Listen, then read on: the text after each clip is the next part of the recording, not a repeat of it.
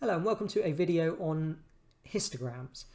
In this video we're going to be looking at constructing histograms using some data that has been given to us here. So if we look at this information it says the frequency table below gives information about the books sold in a second-hand bookshop on the same Saturday. So here we've got the amount spent in the shop and here we've got the frequency. So this is the total number of people. So for example 80 people spent between 0 and 5 pounds 20 people spent between 5 and 10 pounds, 24 people spent between 10 and 20 pounds, and 96 people spent between 20 and 40 pounds. Now, the first thing that pops out to me is that we've got different price brackets here. Okay, if we take a look at this price bracket, these are all the people who spent between 20 and 40 pounds. So it would have included people who spent 23 pounds, 25 pounds, 30 pounds, or even 40 pounds.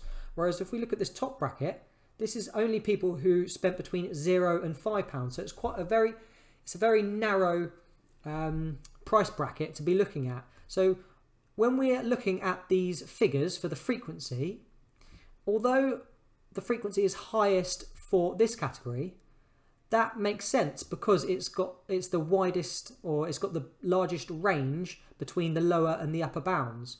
So it's likely that it's going to have a higher frequency compared with this number here. So it's quite hard to compare at the at the moment. It's quite hard to compare these frequencies because they have different um, price brackets, or we would say they have different class intervals. So we need to come up with a way of comparing the data that is fair and that um, compensates for this smaller and this larger class interval. And how we do that is we look at something called the frequency density. So frequency density. Okay, and how we work that out, we take the frequency, so it's the frequency, and we divide that by the class interval. We call that the class interval. Okay, the class interval. And doing that, compensates or allows for the differences between the class intervals to make it fair. Okay, so if you're still a bit confused about that and about confused about why we calculate the frequency density as opposed to just looking at the frequency, I always like to think of population density. So if we think about a population of a country and we'll use the UK because we live in the UK. So UK population, all right, pop for short. Now, at the point of recording this video, we are approximately at 68 million in the UK, give or take a few. So there's 68 million people in the UK. Now, if we think of a larger country, so I'm going to use Russia as another example because Russia is a very large country. And in fact, I think it's the largest country in the world. So the population of Russia, you would think it would be more than a lot more than 68 million because it's a much larger country. And it is indeed larger than the UK population. There is 147 million people currently living in Russia. Now that makes sense because it's a larger country. You would expect that to happen. So it's not very fair comparing these two values because we know that if you've got a larger land um, area, it's likely that you've got a bigger population. So in order to compensate for the um, larger land area, we would calculate the population density. Okay, this will give us a much better idea of the population in a particular country. Now, the density in the UK, so this is per per square kilometre, there are 280 people per square kilometre. So for every one square kilometre, there are 280 people. Now, if we compare it to Russia, in Russia, there are only nine people per square kilometre. So you can see that although the population is greater for Russia, because they've got a larger land area, the density is actually smaller.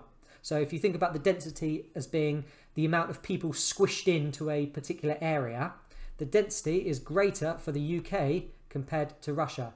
And these values here are a lot more meaningful than just the absolute population values. So that is another reason why we look at density. So this is population density, or we talk about frequency density in this situation, and that would be to allow for the different class intervals here. Okay, so what we're going to do is we're going to calculate the frequency density for this data. So let's do that. So FD for frequency density.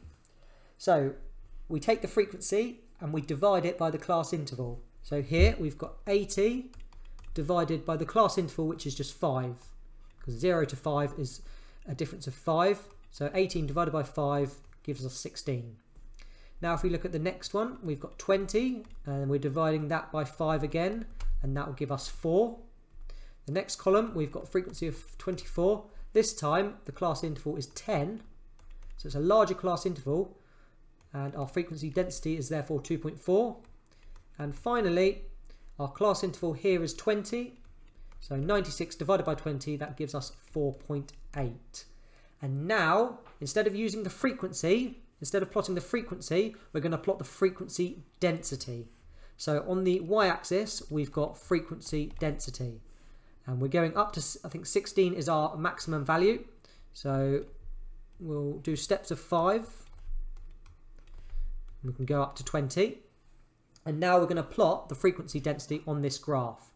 And you can already probably see that the frequency density is actually greatest for the 0 to 5 category, which was different to what we originally had.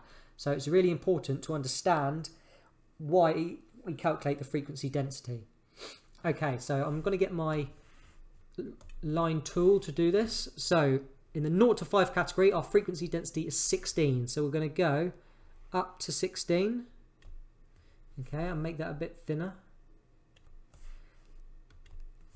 And then just going to go along to the y-axis. Okay, and now we'll do the second category. So 5 to 10, our frequency density is 4. So I'm going to go up to 4. And then along. And then the next category, this time the interval is 10, so we're going up to 20. And 1, 2, 2.4 is roughly there. Again, this is not perfect, but hopefully you get the idea. And then finally, our last category, we're going all the way up to 40 this time, and our frequency density is 4.8. So I'm just going to go a bit below 5. And then come along. And I'm just going to finish that off by just coming down here. And we are done. We've calculated or we've constructed our histogram.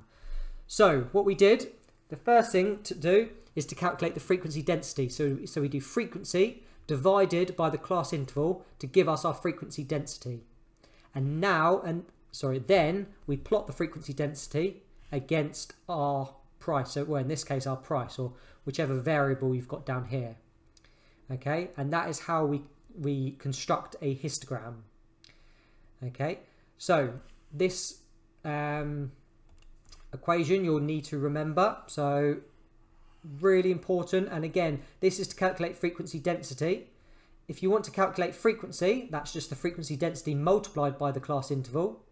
And if you wanted to calculate the class interval and you have the frequency and the frequency density, well, you just do the frequency density divided, sorry, the frequency divided by the frequency density. So again, this is a bit like one of your speed, distance and time formulae, which you can just rearrange. Okay, so in the next video, we're just going to get some more practice at constructing histograms using frequency density.